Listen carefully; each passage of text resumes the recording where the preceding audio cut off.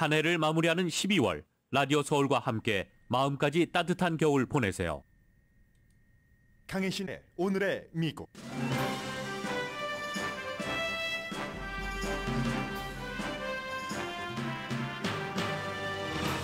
2022년 마지막 날이 로스앤젤레스 시간을 기준으로 15시간 남았습니다. 국가적으로나 개인적으로나 새해에 대한 여러 생각과 의견이 교차합니다. Southwest Airline이 오늘 현재 전체 스케줄의 1%만 차질이 있는 정도로 거의 정상 운행 중입니다. 그러나 항공사와 여행객 모두에게 도전은 여전합니다. 요 며칠 사이 국내편 항공 요금은 3배 이상 올랐습니다. 중국의 COVID 19 바이러스는 세계적인 추측 게임, guessing game이 되고 있습니다. 중국발 비행기에 탑승한 여행자에 대한 규제가 최선이라고 확신하지 못하면서도 시행하는 시점입니다. 연방 하원이 트럼프 전 대통령의 6년 동안의 세금 보고서를 공개했습니다. 돈 잘 번다는 능력을 앞세워 당선된 대통령이 연방 소득세를 한 푼도 안 내고 오히려 세금 환불을 요구한 해도 있었습니다. 트럼프 전 대통령은 공개를 허락한 연방 대법원을 강하게 비난합니다. 며칠 있으면 공화당은 하원 다수당이 되지만 축하하기 전에 어물전 망신을 시킨 당선자 일이 커지고 있습니다. 할머니에 이어 어머니의 사망조차 조작한 조지 산토스 공화당 당선인입니다. 식품의약국이 자신들의 가이던스를 어기고 알츠하이머 치료제를 승인한 논란에 대해 연방 하원 보고서가 나왔습니다. 기업의 탐욕과 비정상적인 검토 과정이라고 결론 내렸습니다. 식품의약국과 제약회사는 의회 권고에 따른 변경 작업을 합니다. 뉴욕에서는 어제부터 성인이라면 레크리에이션용 마리화나를 가게에서 살 수 있습니다. 미국인 68%는 마리화나 합법화를 지지하고 뉴욕에 열린 마리화나 store 근처에는 대학이 있습니다. 축구를 아름답게 만들고 브라질의 국보가 된 펠레가 사망했습니다. 그는 브라질을 버리지 않았고 미국에서는 축구를 대중화하는 역할을 했습니다. 네슨 만델라는 펠레가 축구하는 걸 보면 어른에게만 있는 특별한 우아함과 어린이에게만 있는 기쁨이 완벽하게 결합된 것 같다고 말했습니다. 여러분 안녕하십니까? 오늘의 미국 강혜신입니다. 2022년 12월의 마지막 날인데 로스앤젤레스 아침에 무척 추우니까 겨울 같기도 하고요. 새해를 맞이하는 뭐 그런 그 분위기가 되기도 합니다. 아, 마지막 날 아니네요. 제가 이렇게 숫자에는 맹하다니까는요. 벌써 2023년 새해를 맞고 싶었는지 하루를 당겨서 오늘이 12월 30일이고 내일이 마지막 날인데 하루를 더해서 15시간 플러스 하루 합쳐서 그러면 15시간과 24시간을 합치면 37시간 남았네요.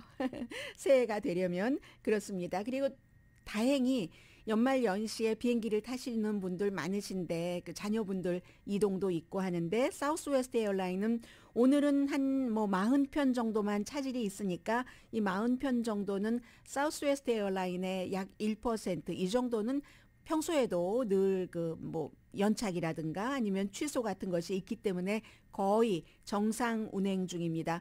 어제만 하더라도 뭐 2,300편 정도 취소됐고 그제도 뭐 그것보다 조금 더 많이 했으니까 이 정도면은 굉장히 빠르리 회복을 한 거고요.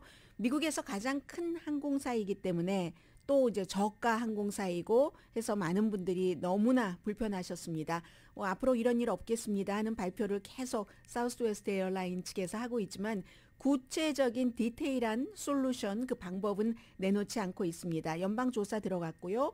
보상 비용 지불에 대해서도 뭐 여러 가지 문제 아직까지 해결되지 않는 게 있고 Southwest Airline에서 기다렸다가 Southwest Air, Airline으로 갈아타는 게 아니라 다른 항공사로 티켓을 끊으신 이런 분들은 환불받기 거의 어려운 것 같습니다.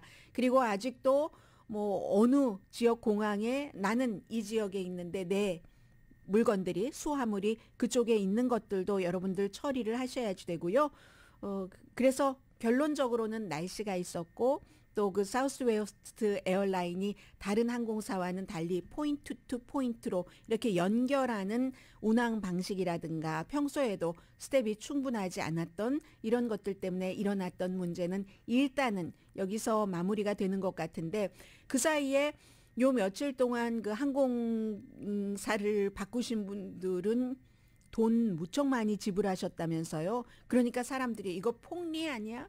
무슨 개솔린값 올라갈 때 보면은 올라가지 올라가야지 될 이유가 없는데도 계속 올라가던데 이런 얘기들 하는데 항공사는 그렇지 않은 것 같습니다. 여행객이 이제 별도의 지불을 하고 뭐 예를 들어서 어제 오후에 시카고에서 덴버로 가는 편도 항공권을 끊으셨다면 가장 싼 게 델타 에어라인 599달러, 600달러였답니다. 편도가요. 왕복도 아니고. 일주일 전 같으면 140달러였는데 몇 배가 높아진 겁니까? 그러면 동부는 뭐 비도 오고 뭐 폭설도 있고 한다고 하지만 로스앤젤레스에서 샌프란시스코로 가는 유나이티드 에어라인도요. 415달러의 시작 시작점이 415달러. 가장 싼 티켓이 어제 415달러였다고 하거든요. 사흘 전보다 4배 이상 비싸진 겁니다. 전혀 날씨와는 상관이 없는데 도미노 현상처럼 됐기 때문에 그러니까 사람들이 아니 피곤한 우리 여행객들을 이용하는 거야라고 얘기를 하지만 수요와 공급의 법칙에 따라서 그런 거죠. 뭐 예를 들어서 크루즈라든가 이런 때는 마지막에 싸게 갈 수 있잖아요. 누군가가 취소를 하기 때문에 어차피 배는 띄우는 것이고 그리고 우리가 무슨 컨설트 몇백 달러짜리도 마지막 순간에 취소하는 사람이 있기 때문에 싸게 갈 수가 있는데 호텔 룸도 마찬가지고요.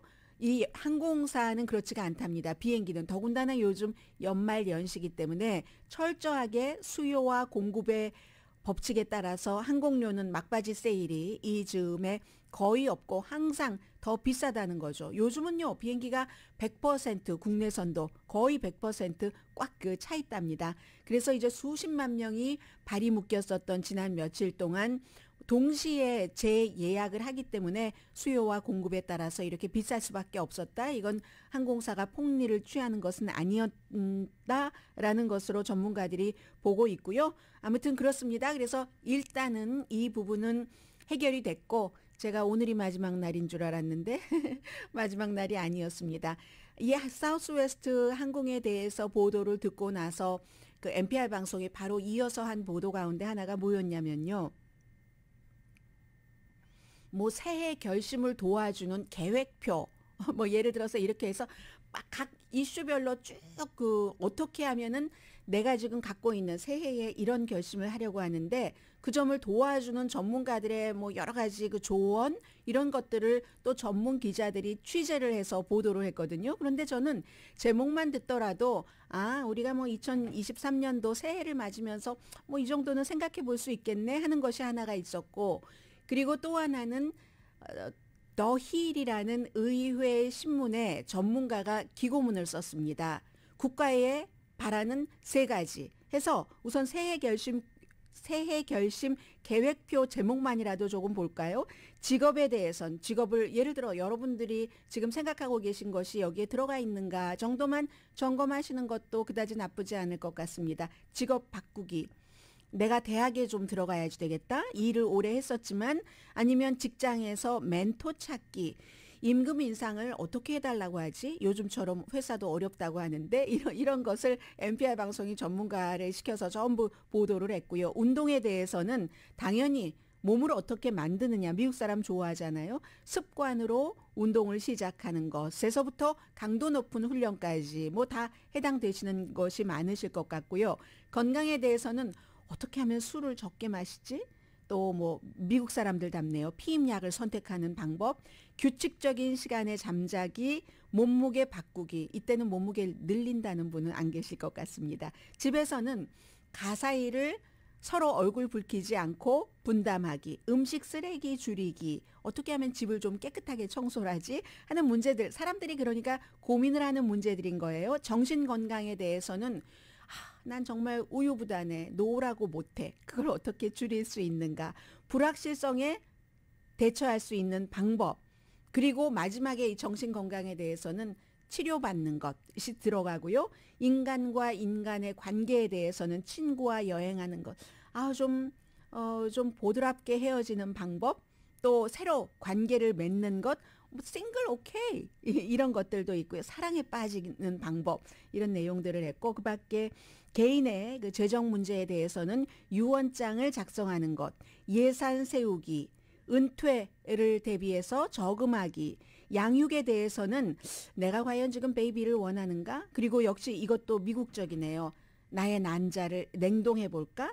내가 아이를 키우고 있는데 이 아이들이 말을 좀 잘 듣게 어떻게 할 수가 있을까? 그리고 이제 웬만큼 컸으니까 다시 직장에 가볼까? 이런 것들을 항상 사람들이 해가 바뀌면서 생각해 본다는 얘기가 되겠고요. 목표 세팅, 이건 저 관심이 있습니다. 저는 목표 없이 늘 새로운 해를 맞이했는데 올해는 조금 느낌이 다르거든요. 어, 목표를 세팅하는 것. 그리고 또 이 목표 세팅의 마지막 부분에 보니까 미루는 것을 멈추는 방법. 이런 게 있어서 제가 그것은 또 자세히 들어봤더니 뭐라고 얘기하냐면 미루는 사람들은요. 뭐 여러 가지 그것도 다를 수도 있지만 특징이 미루는 것과 완벽주의자, 미루는 것과 완벽하려고 하는 것들이 대체적으로 같이 간답니다. 그러니까 뭐가 준비가 돼 있지 않으니까 나의 표준에 맞지 않으니까 미룬다. 저는 그럼 그건 아니고요. 뭐 꼭 작은 일 해야지 될 일을 꼭 미루게 되거든요. 그래서 나중에 큰 일로 만들거든요. 그런데 어쨌든 어, 대부분의 분들 미루는 분들은 저와는 좀 다르게 완벽한 것을 추구하기 때문에 뭔가를 하려고 하고 계속 그 미룬다는 얘기입니다. 그리고 또 문화적인 차이가 있어서 African American 여성들이 그런 게 있다네요. 예를 들어서 본인 빨리 건강검진을 해봐야지 되는데 그런데 그런 것을 안 하고 African American 여성들의 경우는 대체적으로 사회에서 인정을 받으려면 다른 사람들보다 더 일을 열심히 해야지 된다 하는 일종의 강박관념 같은 것이 있고 그리고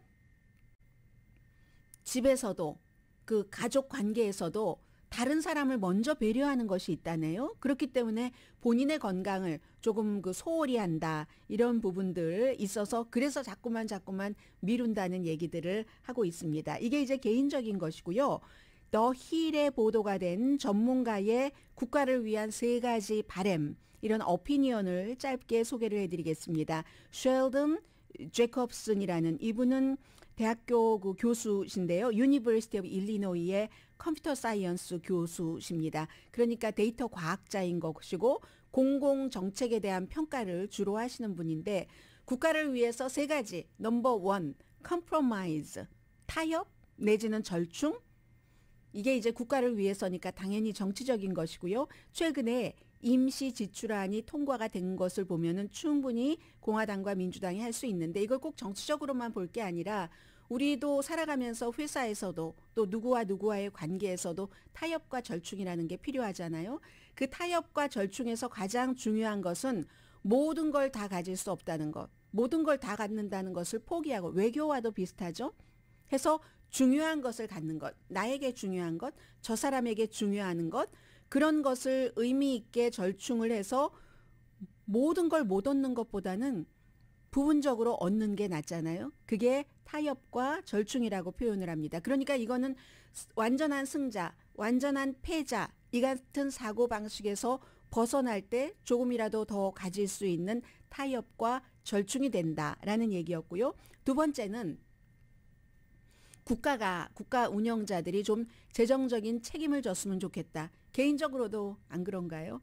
어, 누구에게나 좀 해당이 되는 부분일 것 같은데 지금 워싱턴에서는 지출이 문제가 안 돼서 대신에 삭감하는 것에는 반대가 많다. 그러다 보니까 국가의 빚이 32조 달러나 됐고 이거는 어린이 남자 여자 다 합쳐서 개인이 약 10만 달러 정도 빚이 있다. 이렇게 계산하면 되는 거잖아요. 남녀노소 뭐 3억 2천만 명에서 3억 3천만 명 정도 인구가 되니까 그리고 앞으로도 이자율 올라가고 연방 적자 계속 늘어날 것이고 만약에 어떤 그 개인이나 조직이나 회사라면 이처럼 연방 정부처럼 파산 직전으로 운영을 하겠는가? 개인도 이렇게 재정 생활을 운영하시는 분들 분명히 계실 겁니다. 연말 연시에 돈 좀 쓰셨죠? 그런 여러분들께 드리는 말씀이기도 하는데 국가별로는 중국이나 일본 같은 국가는 계속 그 국채 채권을 사들여서 예산을 초과하고 빚을 계속 늘려가는데 빨리 고칠 수는 없다. 미국도. 그렇지만 유권자들이 그걸 지켜봐야지 된다. 재정적인 쓰나미를 막으려면 이렇게 재정적인 책임을 2023년도 국가에 원한다 라고 썼고요. 또 이 교수님은 친절함이라는 것을 얘기를 합니다. 하나는 국가적으로 어, 지금 뭐 친절한 시기는 아니죠. 러시아가 우크라이나를 침공한 문제를 지적을 했고요. 아무도 이렇게 전쟁이 길어질 것이라고 예상하지 못했습니다. 그리고 이 전쟁이 몇 년이 갈 수도 있다. 몇 년이 지나도 끝나지 않을 수도 있다고 지금은 전문가들이 얘기를 하고 있잖아요. 정치인들은 자주 자아도취 그리고 자기의 이해에 맞게 모든 것을 얘기를 하는데 그런데 친절하지 않은 전쟁과는 달리 아무튼 친절함을 워싱턴에서부터 이건 이제 국가적으로 얘기를 하는데 국가의 친절함이 많이 퍼져야지 된다. 2023년도에는 그런 얘기를 합니다. 미국은요.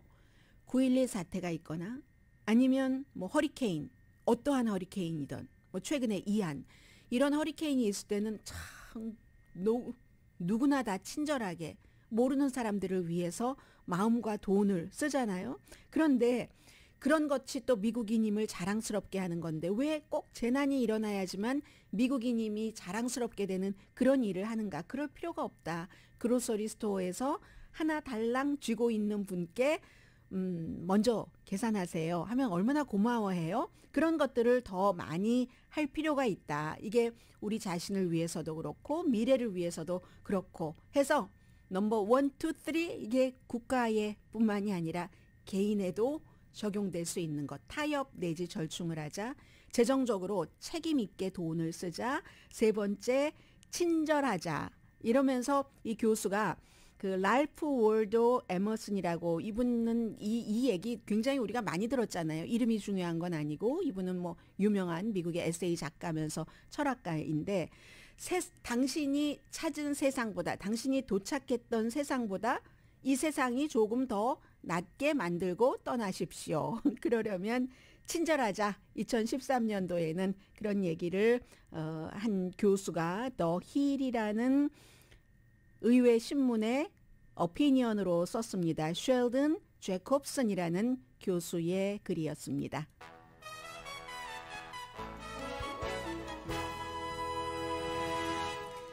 그래도 어쨌든 정규 방송 이 올해의 마지막이죠.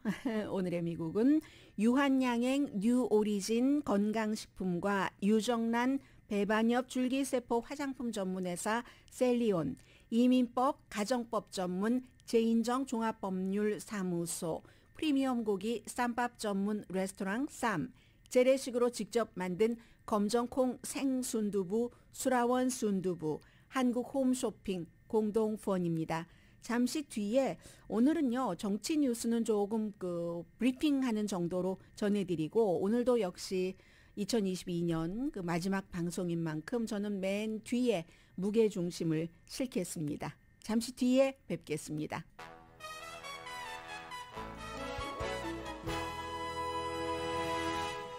라디오 서울 방송 오늘의 미국 듣고 계십니다. 네, 아마 어, 연말 연시에 조금 그 코비드 19에 대해서 주의하시리라고 믿고요. 어제 말씀드린 것처럼 뭐 유럽에서는 이태리, 이탈리아가 중국에서 오는 그 비행기를 타고 오시는 분들에 대해서 네가티브 그 반응을 요구를 했고 미국, 일본 그리고 아시아의 뭐 한국도 어제 보니까 조금 미국보다도 오히려 더 강하게 어떤 그 규제를 만들어 놨습니다. 전문가들은 지금 중국에서 하루에 9천 명 정도는 사망한다고 추정을 합니다. 중국 정부는 이렇게 얘기하지 않죠. 발표도 안 하고 어, 발표를 해도 굉장히 작은 수치만 발표를 하게 되고 하니까 모두 초축을 할 수밖에 없는 겁니다. 그 심각성이 얼만큼 심각한지 모르고 중국에서 혹시 새로운 변이가 나온 게 아닌가? 아무리 하루아침에 이 규제 락다운을 풀었다 할지라도 이렇게 병원에 가보면 알잖아요. 병원이 지금 병상이 모자라고 복도에도 뭐 사람들이 누워 있다고 하고 하니까 그게 굉장히 빨리 확산되고 그 빨리 확산되는 즈음에 정치적으로 사람들이 시위를 하니까 확 그 여행 규제를 국내 뭐 해외로 전부 풀어버리니까 해외에서는 지금 경기도 어려운데 중국 사람들이 오면은 캐슈를 얼마나 많이 씁니까? 그거 받기 받지 않는다는 것은 힘든 일이죠. 특히 유럽 같은 경우 쇼핑하러 많이 가잖아요. 미국도 캘리포니아주로 뭐 뉴욕으로 쇼핑하러 많이 오는데 대신에 이제 그 테스트를 하는 이 정도를 했는데 테스트를 하고 그렇다 할지라도 지금 중국에서 어떤 일이 일어나는가를 알아보려면 여행을 규제하고 테스트하는 것이 최선인가 그렇지 않다고 보는 전문가들도 있는 것이고 뭐 그 정도라도 하는 게 낫다라고 보는 전문가들도 있는데 그래서 이제 비행기 안에서의 폐수 비행기 안에서의 폐수하면은 뭐겠습니까 화장실에서 여러 가지를 이제 검사를 해서 새로운 변이가 있는가 하는 것을 보고 그것을 추적을 계속 이제 중국 정부가 하지 않으니까 추적을 해서 대비를 한다. 지금까지는 여기까지입니다. 그 이후에 어떻게 대처하겠다 하는 것은 없는데 중국이 아마 1월 13일 정도가 되면 피크가 될 것이다. 이렇게 예상하고 있는 미국의 전문가들, 영국의 전문가들이 있어서 그때가 되면은 뭐 하루에 370만 명이 감염이 된답니다.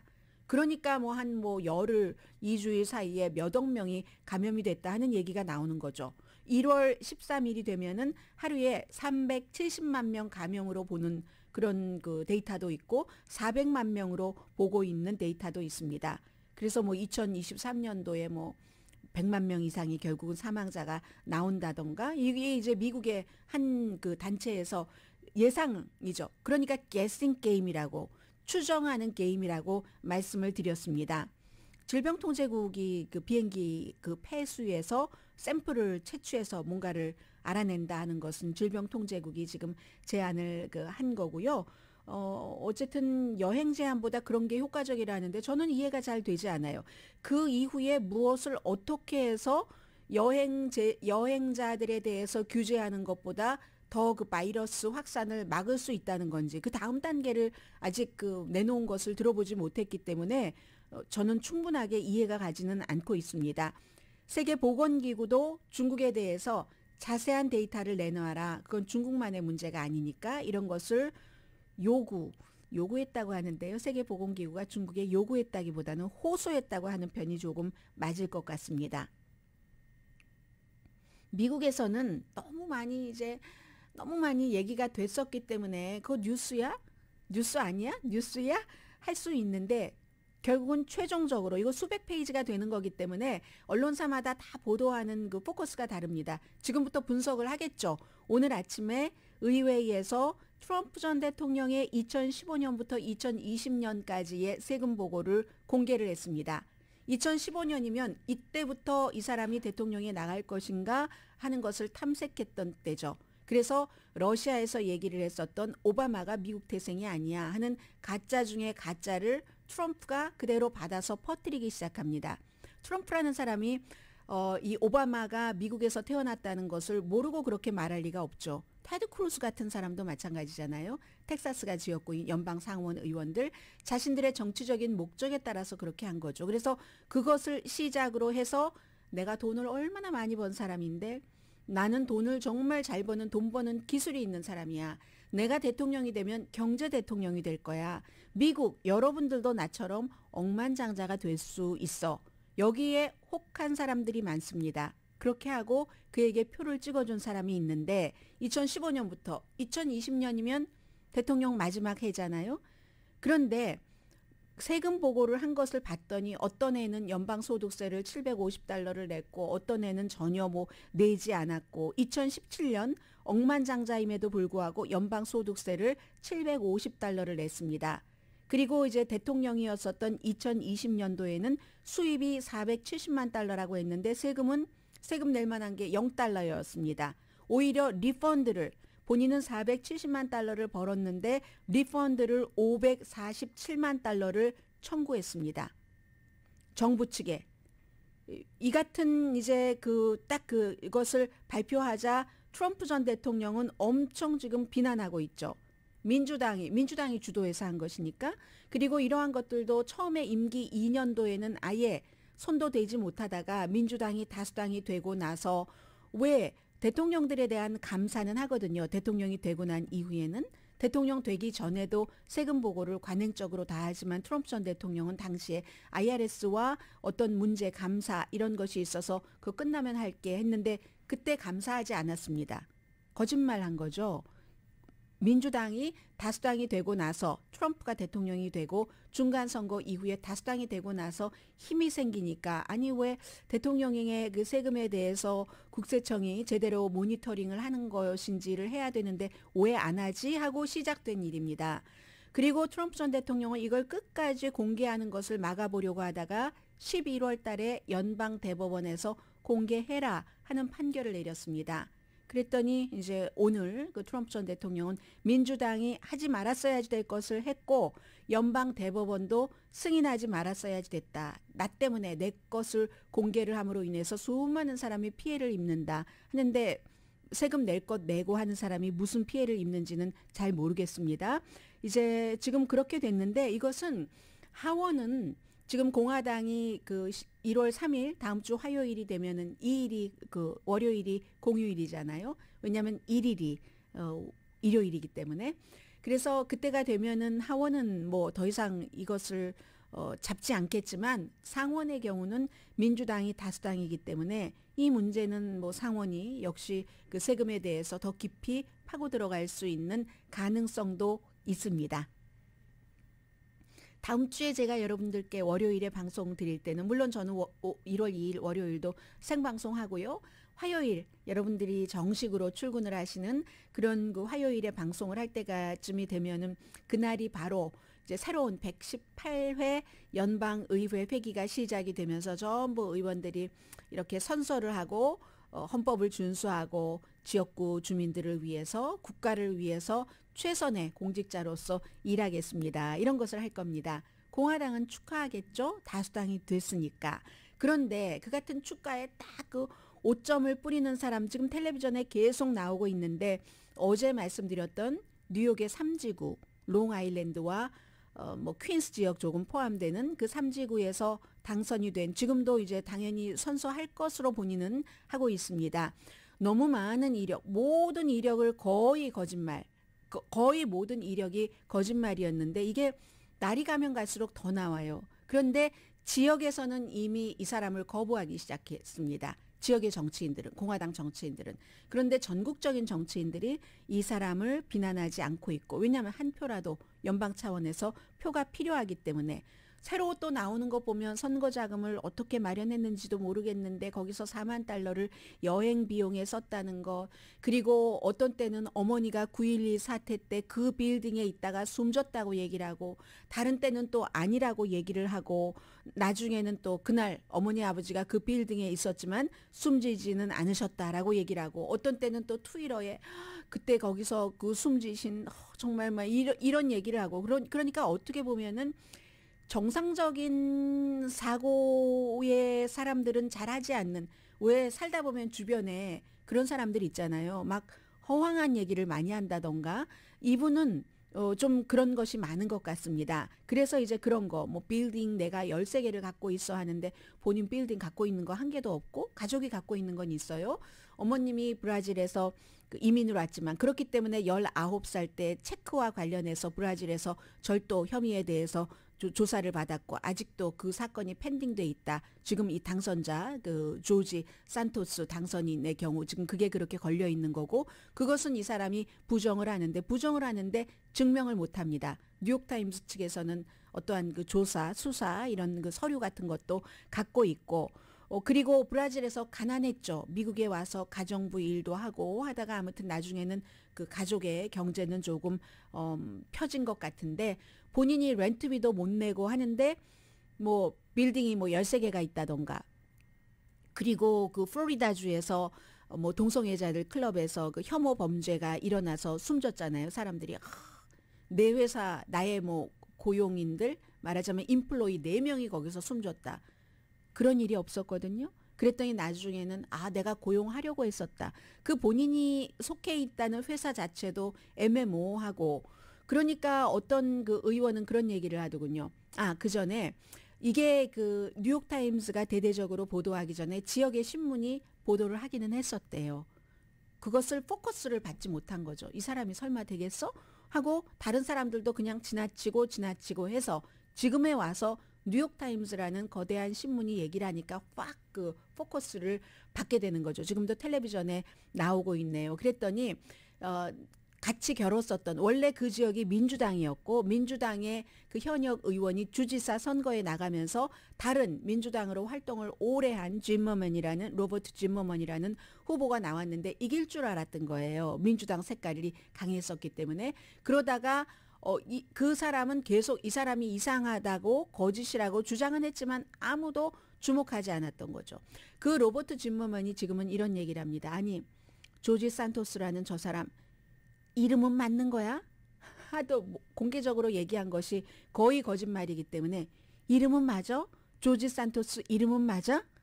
이런 정치인이 연방 하원 의원 435명 가운데 한 명으로 존재하고 계속 국민들의 유권자의 신뢰를 받을 수 있다면 그것도 또 미국 정치에 있어서 그다지 바람직한 것이 아니다 하는 목소리가 지금으로서는 조금 강해진 것 같고요. 자, 잠시 뒤에 실제 생활과 연관되는 두 가지 이슈 전합니다.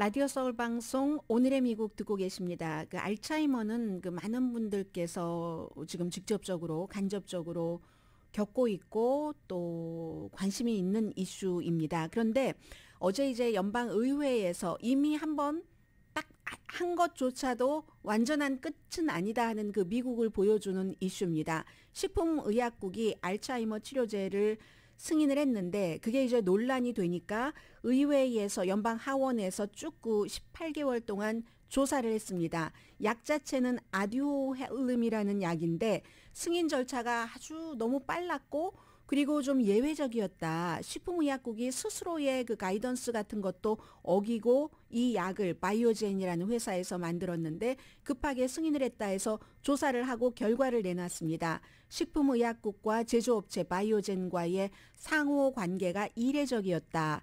해서 승인하게 된 그 배경, 가격, 마케팅 여기에 포커스를 맞췄는데 우선 값이 너무 비싸다는 거예요. 1년에 5만 6천 달러나 그 치료하는데 든다는 거거든요. 그리고 두 번째는 benefit이 부족한데도 대규모 임상 실험을 해서 그런데도 그것을 홍보하면서 5만 6천 달러나 1년 치료 비용이 든다는 거죠.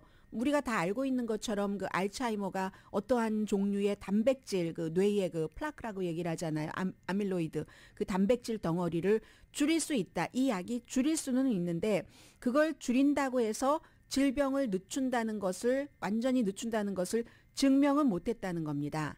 그리고 마케팅 분야에 대해서는 소수 인종 커뮤니티에 돈을 엄청 많이 들여서 하려고 했다. 수십억 달러를 투입할 그럴 뜻이 있었다 하는 거거든요. 그래서 이제 식품의약국이 2021년 지난해 6월 달에 승인을 했는데 식품의약국 외부 자문들은 반대를 했는데 왜 식품의약국은 서둘러서 이것을 그 승인을 했는가 하면서 기업의 탐욕, 너무 빠른 그 식품의약국의 승인 해서 민주당 하원 의원들이 이걸 조사를 했습니다.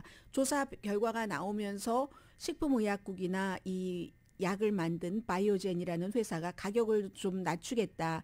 어, 그, 그리고 그 설명 자체도 알츠하이머는 굉장히 복잡한 질병이다. 뭐 이런 약으로 쉽게 치료되는 것이 아니다라는 것도 홍보를 하고 권고 사항에 따라서 여러 가지 변경할 수 있는 부분을 변경을 한답니다. 어제 뉴욕주가 이제 처음으로 뉴욕주로서는 레크리에이션용 마리화나 판매를 시작을 했습니다. 원래 올해 말까지 뭐 수십 군데 오픈을 한다 판매처를 했는데 한 군데밖에 안 될 것 같아요. 그것도 이제 비영리 기구인데 여기서 나오는 수익은 전부 HIV 바이러스 환자라든가 그런 그 공공의 목적으로 쓰여진다고 하는데 사람들이요 4시간 기다렸다 사고요. 뭐 8분의 1온스가 뭐 한 16달러에서 95달러까지 그 질이 여러 가지가 있는가 봐요. 그리고 flower라고 부르잖아요. 초록색의 그 flower라고 해서 보통 한 65달러 정도가 되는 것 같은데 2019년도에 마리화나를 범죄화가 아니다라고 했고 2021년 3월 달에 주 의원들이 성인이 이 마리화나 하는 것을 합법화를 했고 재배 허가를 4월 달에 그리고 소매 허가는 올해 11월 달에 했습니다. 재배 허가도 올해 4월 달에 했고 이렇게 했는데 과거에 이제 마리화나로 유죄 판결을 받은 사람이라든가 이런 사람들이 운영을 할 수 있도록 했고요. 모든 것, 상당히 많은 것은 경제적인 것에 따라서 그런다. 뉴욕 경제에 붐을 일으킬 것이다. 새로운 일자리를 만들어낼 것이고 주정부와 local 정부의 세금을 많이 걷게 할 것이다. 그리고 이미 다른 주들이 하고 있기 때문에 다른 주에 가서 살 필요가 없지 않느냐. 뉴욕은 세계의 금융지이고 지구상에서 가장 큰 도시고 관광객들이 많기 때문에 즐기려고도 올 것이다. 이런 얘기를 하고 있습니다. 그래서 이제 레크리에이션용 마리화나를 합법화하는 24개 주, 처음은 아니지만 시장이 워낙 뉴욕시가 인구가 많으니까 2027년이 되면 42억 달러 마켓이 될 것으로 예상을 한답니다. 미국에서 가장 수익성이 높은 그런 시장이 되는 거고요. 3년 안에 캘리포니아를 제외하고 가장 큰 시장이 될 텐데 캘리포니아주는 제일 먼저 96년도에 의료용 마리화나를 합법화했고 그리고 나서 이제 그 뒤에 콜로라도라든가 워싱턴주가 뒤를 이었고 어, 해서 주마다 조금 이렇게 마리화나 store를 누구에게 운영하게 하느냐 하는 것은 조금 다릅니다. 플로리다주 같은 경우는 대기업이 하도록 하잖아요. 그래서 어떤 대기업이 어, 주유소 마다마다에서 팔 수 있도록 한다던가 그런데 뉴욕주는 그런 케이스를 따르지 않고 워싱턴을 모델로 한답니다. 버드와이저가 liquor store 못 하잖아요. 워싱턴은 그렇게 돼 있잖아요. 그렇게 하겠다 하겠다 하는 것이고 미국 사람들의 68%가 마리화나 합법화를 지지합니다. 성인들에게. 이건 공화당도 대부분 지지해서 68%가 나오는 겁니다. 20년 전에는요, 반대로 64%가 마리화나 합법화에 반대했습니다. 그런데 이게 지금 시대가 변하면서 이렇게 되는 거고요.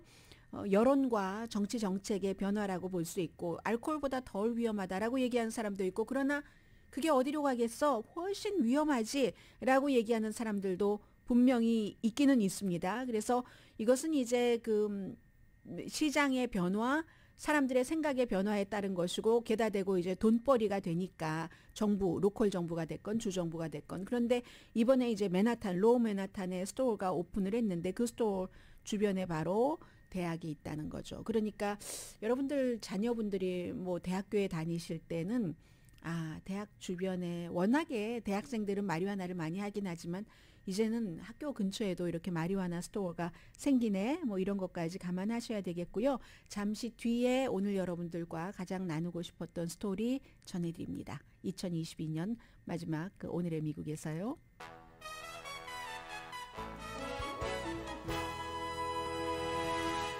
라디오 서울 방송 오늘의 미국 듣고 계십니다. 어제요, 음, 뭐 방송이 끝나고 나서 펠레가 숨졌다 해서 그때부터 너무 많은 펠레에 관한 많은 것을 봤는데 야 이분의 사망은 우리가 2022년 마지막 그 기사로 그를 생각을 하기도 하고 우리의 인생에 적용할 수 있는 부분도 있고 뭐 느낌 뭐 이런 것으로 할 수도 있겠다 해서 어제 이미 저는 어, 보통 전날 뉴스를 준비하지 않거든요. 맨 마지막 아이템은 이 아이템이다라고 정했습니다. 축구를 아름답게 만든 사람 펠레. 축구를 예술로 만든 사람 82세로 오랜 동안 뭐 아, 대장암 수술도 받았고 COVID 때 힘들기도 했고 해서 병원에 입원했었잖아요. 이번에 월드컵에서도 결국은 세상을 떠났는데 17살 때 이제 뭐 그 월드컵에 갔었잖아요. 이름 자체가 우리는 펠레라고 하지만 펠레라는 이름도 본인도 이게 어디서 나왔지 하는데 원래 아버지가 프로페셔널 그 축구 선수였고 아버지 팀에서 잘하는 사람 그 사람 이름이 펠레는 아니었는데 그렇게 따왔다고 하거든요. 원래 이름은 어, 에드송 아란테스 주 나시멘토인데 에디송이 에디슨 펠레가 태어나기 직전에 토마스 에디슨이 전기를 발명을 해서 시골에 가난한 집이었는데 아버지 어머니가 야 그분을 기리자 해서 에디슨 에디송이라는 이름을 지어줬다고 합니다. 근데 브라질 선수들은 그냥 하나의 이름으로 부르니까 펠레가 된 거고요. 아버지가 축구 프로페셔널 선수였지만 나중에는 부상당해서 축구를 그만뒀어야지 됐고 가난했죠. 그때의 축구와 지금의 축구가 다르니까. 뭐 열차역에서 뭐죠? 그 구두 닦기도 하고요. 구두 닦기도 하고 아버지가 가르쳐 줬는데 아버지가 그 아이를 가르칠 때 본인은 그 이제 부상으로 못했지만 예를 들어 양말도 감고 grapefruit로도 차게 하고 걸레를 감아서 아버지가 너 집중하면 건강하면 아무도 너를 멈추게 할 수가 없어. 이렇게 해서 열심히 운동을 했는데 어렸을 때 아주 아홉 살 땐가 열 살 때 아버지가요 막 어, 남자는 우는 게 아니야 이러더니 막 우시더래요. 그래서 펠레가 아버지 그때 왜 그랬냐면 우루과이에 2대 1에 졌을 때래. 아버지 제가 월드컵에서 이길게요. 라고 펠레가 얘기를 했답니다. Brazilian team who has a four World Cup, the only one in the world. Well, this is a priceless gift.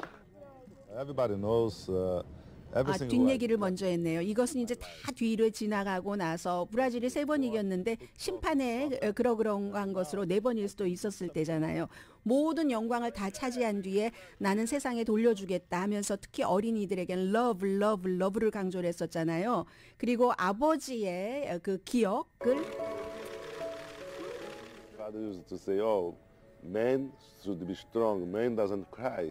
Then I saw oh, my uh, my father cry when Brazil lost the game. Then I told him, "Father, no, don't worry. I'm gonna win one World Cup for you. Don't worry." I was nine years, nine to ten years old.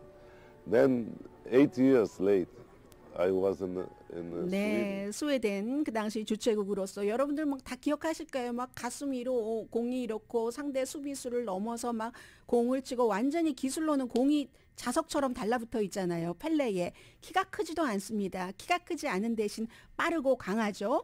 해서 이제 완전히 그 선수들이 그, 보, 그 경기를 하기 전에는 뭐지 마스코트야 했다가 경기를 하는 걸 보고는 어머 이거 아니다 했었다는 얘기잖아요. 브라질의 극작가 저널리스트가 그 넬슨 로드리게스가 다른 선수들과 다른 것이 처음부터 왕처럼 본인을 생각한다는 거예요. 펠레는 그래서 산토스 그 팀에 넣게 됐고 키가 173cm밖에 안 됩니다. 5피트 8인치 속임수에도 능하고요. 그 법적인 그거 슛도 양발로 하잖아요. 이런 기술을 누가 따라가겠습니까? 유럽이 쳐다봤지만 한 번도 브라질을 떠나지 않았고 단지 은퇴하고 나서 미국에 와서 미국 뉴욕 코스모에서 70년대 말에 경기를 했었는데 그때 헨리 키신저가 외교로 축구와 브라질과 미국을 엮었었던 거고 브라질과 접촉을 놓치지 않아서 그래서 이제 군사 독재에는 협조하지 않았습니다. 뭐 좀 해줘. 왜냐하면 영, 그때는 영웅이었으니까 지금도 영웅이지만 나중에 민주 정부가 들어오고 나서 스포츠 장관을 했었죠. 그런데 개인적으로는 뭐 결혼도 몇 번 하고 내 아이 아니야 부정한 뭐 이런 케이스도 있고 있지만 그러나 넬슨 만델라는 그가 축구하는 걸 보면 성인 남자의 대단한 우아함과 기뻐하는 어린이의 완전한 결합처럼 보인다. 아마 많은 사람들은 그렇게 기억할 겁니다. 이게 순수함도 있고 교활함도 있다는 거잖아요. 적절한 교활함과 아주 적절한 순수함과 자, 이런 얘기로 오늘 마무리를 하고요. 그동안 1년 동안 도와주신 셀리온 제인정 종합법률사무소 쌈 어, 수라원 순두부 한국 홈쇼핑 감사드리고요. 새해 복 많이 받으세요 하고 인사드립니다. 무엇보다도 펠레도 브라질 사람들이 펠레가 가는 곳에 막 몇 시간 줄 서고 막 이, 이렇게 하면서 보고 그를 국보로 키웠듯이 오늘의 미국도 여러분들께서 늘 들어주시고 격려해 주시고 야단도 쳐주셔서 2022년도 행복했습니다. 2023년 다시 뵙겠습니다. 강혜신이었습니다.